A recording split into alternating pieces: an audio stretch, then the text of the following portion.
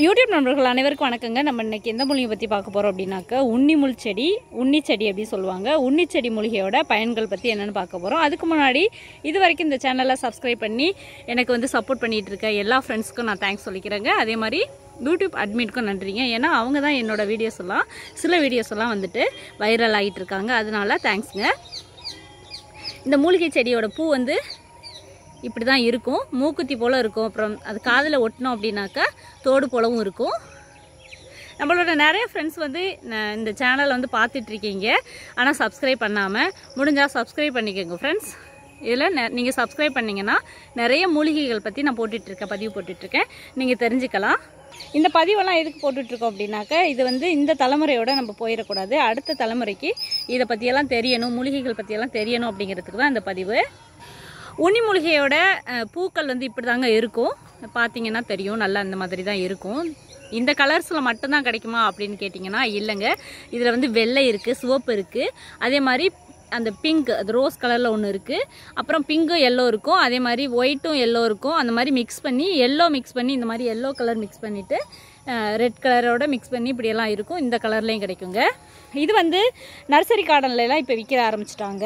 ஏன்னா கார்டனிங் வளர்க்குறவங்க இதை வந்து பண்ணுறாங்க இதை வந்து வீட்டில் எடுத்துகிட்டு போய் அழகுக்காகவும் வளர்க்குறாங்க. அப்புறம் உன்னி மூலிகையோட காய் வந்து இங்கே பாருங்கள் இப்படி தான் இருக்கும். இந்த இந்த காய் வந்து சாப்பிடக்கூடாதுங்க. அதே மாதிரி இந்த பழம் வந்து நல்லா தெரியும். இந்த பழம் வந்து சாப்பிட்லாம். அதுவும் தனித்தனியாக இப்படி பிரித்து எடுத்துட்டு சாப்பிட்ணுங்க. இங்கே பாருங்க.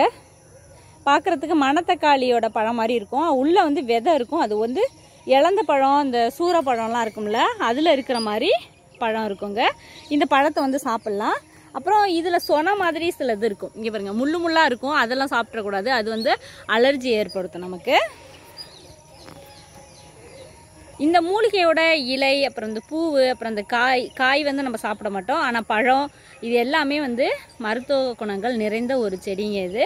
இந்த இலைகள் எதுக்கு பயன்படும் அப்படின்னாக்க இந்த கொசு ஈ இதெல்லாம் வராமல் இருக்கிறதுக்கு பயன்படுத்திக்கலாங்க.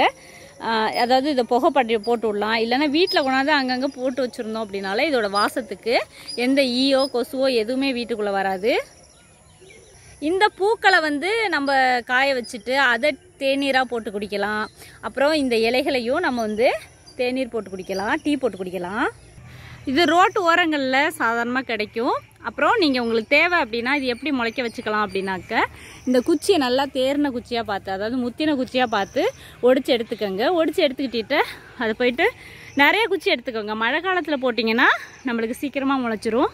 இந்த செடியில் நிறைய காய் இருக்குது அதே மாதிரி நிறைய வந்து பழம் இருக்குது பாருங்கள் பார்த்தாலே தெரியும். அப்புறம் அதோடு இல்லாமல் பூ வந்து இப்போ புதுசாக விடுது. புதுசாக வந்து பூக்க ஆரம்பிச்சிருக்கு. இந்த கலர் வந்து பிங்குங்க நான் முன்னாடி காமிச்சது ரெட்டும் ரெட் கலரும் எல்லோ கலரும் இருந்தது. இது வந்து பிங்க் கலரு உங்களுக்கு கால் எரிச்சலாக இருக்குன்னு நிறைய பேர் சொல்லுவாங்க. பாதை எரிச்சல் இருக்குது திடீர்னு தோலில் எங்காவது எரியிறது இந்த மாதிரியெல்லாம் இருக்கும். அந்த மாதிரியெல்லாம் எரிச்சலாக இருந்தது பாதை எரிச்சல் அப்புறம் அந்த மாதிரி தோலில் எரிச்சலாக இருந்ததுன்னா இந்த இலையை அரைச்சி நம்ம அந்த இடத்துல பூசி வச்சிருங்க. மூணு நாளைக்கு வந்து இந்த பாதத்துல எல்லாம் அரைச்சி இந்த இலையோட சாரை தடவலாம். இல்லைன்னா இலையோட அந்த சாரோட சேர்த்தும் நம்ம தடவிக்கலாம். அப்படி நம்ம தடவி வச்சோம் அப்படின்னாக்கா நமக்கு வந்து இந்த பாதை எரிச்சல் சரியாகுங்க. இந்த பழம் வந்து சாப்பிட்டோம் அப்படின்னா நிறைய சத்துக்களை நம்மளுக்கு கொடுக்குங்க. இந்த பழம் இருக்கிற அதாவது இந்த செடி இருக்கிற இடத்துல வந்து தேனு தேனீக்கள் வந்து கூடு கட்டுறதுக்கு நிறைய வாய்ப்பு இருக்குது ஏன்னா இந்த பூக்கள் வந்து ஒன்று ஒன்றும் இது வந்து ஒரே பூ கிடையாதுங்க. இது வந்து பல பூக்கள் வந்து இதில் வரும். அதனால பார்த்தீங்கன்னா அது தேன் வந்து இதில் நிறைய தேனி வரும். இந்த செடிகிட்ட நம்ம பழமோ இல்லை காயோ இந்த இலையோ பறிக்க போகிறப்ப அது ரொம்ப கவனமாக போகணுங்க. நிறைய தேனீக்கள் இருக்கும் இதில். உண்ணி பழத்தை வந்து பறிக்கிறப்ப ரொம்ப கவனமாக பறிக்கணும்.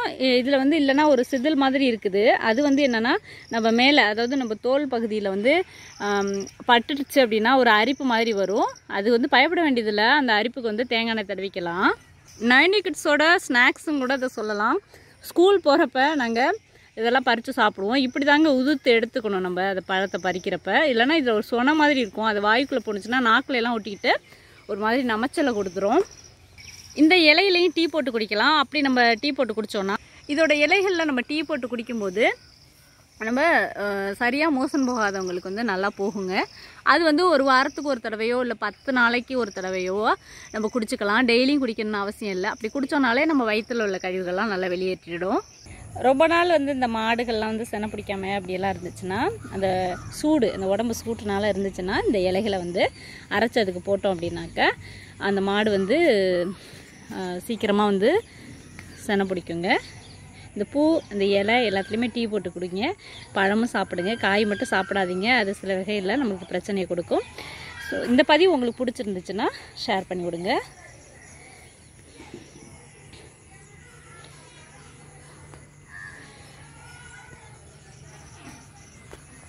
இந்த மூலிகையை வந்து பயன்படுத்துங்க பயன்பெறுங்க. இந்த பதிவை வந்து எனக்காக இவ்வளோ தூரம் பொறுமையாக முழுமையாக பார்த்ததற்கு நன்றிங்க. இந்த சேனலை சப்ஸ்கிரைப் பண்ணலன்னா சப்ஸ்கிரைப் பண்ணுங்க. நன்றி.